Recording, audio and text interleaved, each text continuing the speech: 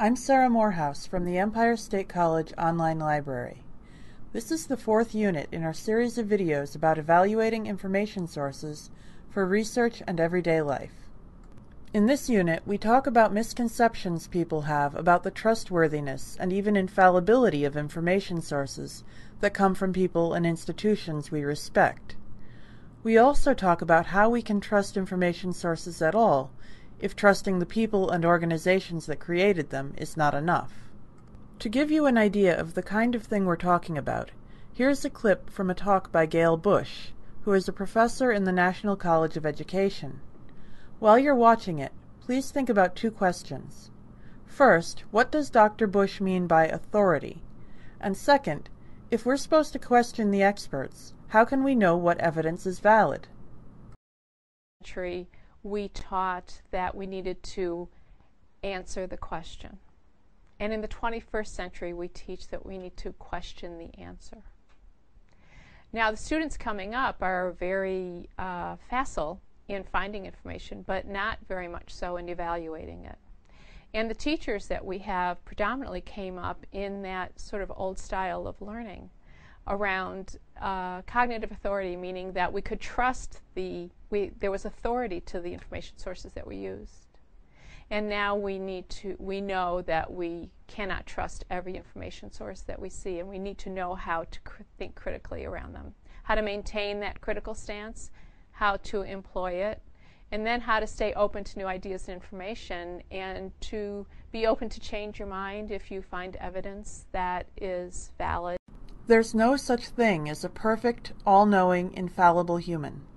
And besides, part of becoming educated is gaining your own expertise and a basis for your own informed opinions. So instead of just trusting an information source because it's in print, or comes from a reputable name, or was given to you by someone you respect, you always have to be on the lookout for signs that it might not be trustworthy. And we will go over many of those signs in this series of videos. If the information source seems like it might be untrustworthy, you need to investigate. Then you can choose for yourself whether or not you are willing to use it. Within every information source, you will need to examine the information present for its validity, sort out correct information from incorrect, and separate fact from opinion. I read a blog called Regret the Error. It's the blog of a journalist who reports on mistakes and misleading statements made in the news. As you will see, sometimes even the most well-regarded news sources fall short of their ideals.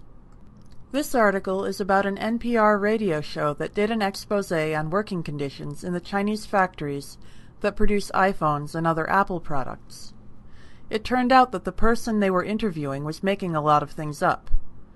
The article comes to the conclusion that the radio show's fact-checking was not nearly rigorous enough. But even good fact-checking can miss things, which is why it's important to maintain an open mind, but also a skeptical one. Here's another blog post from Regret the Error. This one is about how CNN and Fox News both made a huge mistake when the Supreme Court first ruled on the constitutionality of the Affordable Care Act. They were in such a hurry that they read only the first part of the opinion and thought that the Supreme Court had struck down the Affordable Care Act as unconstitutional. Within minutes of releasing the story, they realized they had it backwards and retracted it with apologies. But sometimes even a quick retraction doesn't control the damage. Not everyone checks back, so they may not find out that the retraction even happened. What's worse is first impressions matter even more than people realize. Human beings anchor on the first thing they see or hear, and form their emotional reactions based on that. The correction doesn't make as strong an emotional impression so their judgment is still based on the incorrect information that they heard first, and not the correction that they heard later. So if even trusted news sources make these huge mistakes, what can we do to make sure we're not taken in by them? First, cross-check with other sources. If there's general agreement, then you can feel more confident in the accuracy of the information. But if all the stories are different, then you shouldn't have much confidence in any of them and if most of them agree but one or a few disagree substantially, you'll have to look deeper into the matter.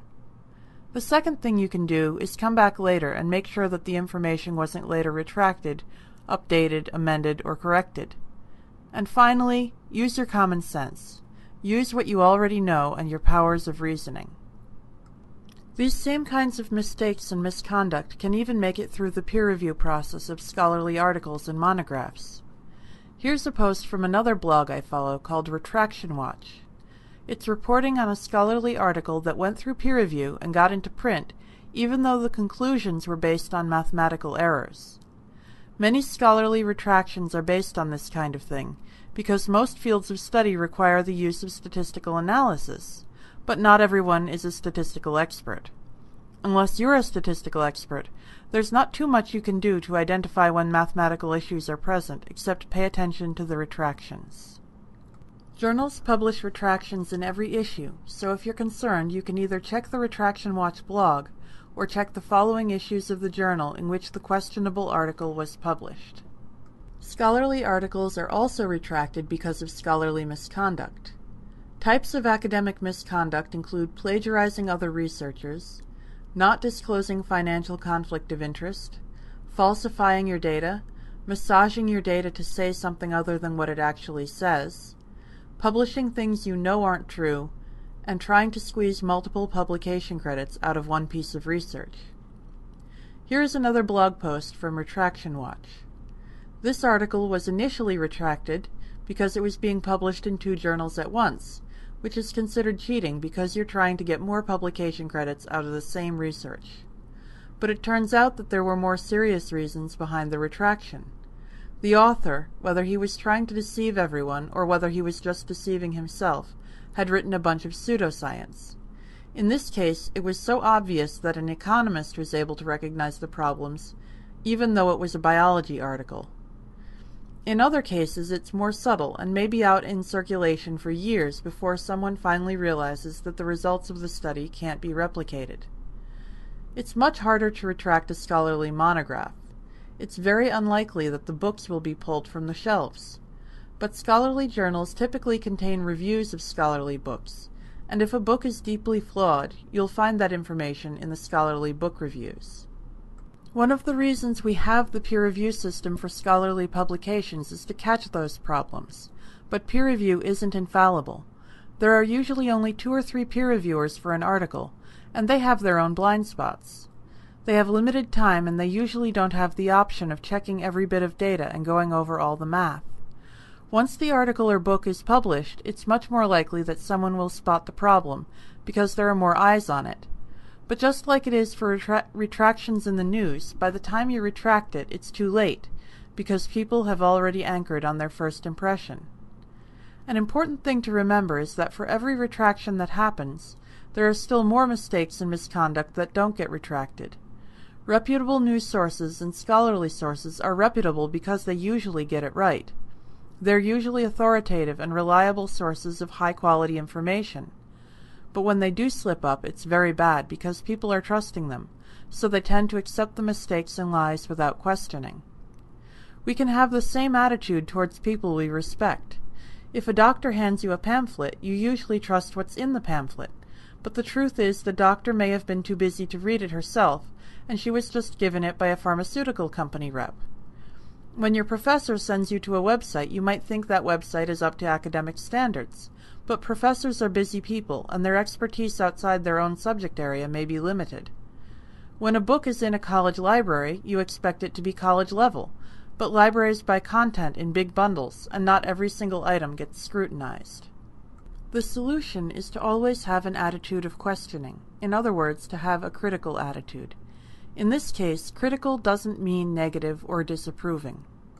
Critical thinking means a way of thinking empirically, meaning based on facts and evidence from the real world, and a way of thinking logically, which means being sure of the relationships between your premises and your conclusions. Critical thinking is a way to decide if something is true, false, partly true, or sometimes true. Critical thinking identifies the right questions to ask and the problems that need to be solved. It helps you to examine your own assumptions and the assumptions that you find in the information sources you use. It helps you to recognize the attitudes and values that underlie what you believe is right and correct, and what is presented as right and correct in your information source. It helps you to evaluate the validity of evidence and the reliability of conclusions. Critical thinking isn't so much a skill as a whole set of skills, and it's something that you can get better at with practice. The next units of this Evaluating Sources video series will talk about different critical thinking skills that you can bring to bear on your re research materials and on information sources that you use in your everyday life. Please take some time to visit the supplemental resources link that's listed on the video information page. In Supplemental Resources, you'll find the links to the Retraction Watch blog and the Regret the Error blog. Look through the blogs and note the different kinds of errors and misconduct that are being reported. Ask yourself what are some of the possible consequences of some of these mistakes and ethics violations. The Supplemental Resources page also has links to other websites and videos on this topic if you want to study this topic in more detail. In the Supplemental Resources page, you'll also find a link to a very short self-quiz. When you complete the quiz, it grades itself, and it will tell you what you got right and wrong. It will also explain the answers to any questions you got wrong. When the quiz is completed, you will have the option of downloading or printing a certificate, which you can use as proof that you went through the video tutorial if you need that for one of your courses.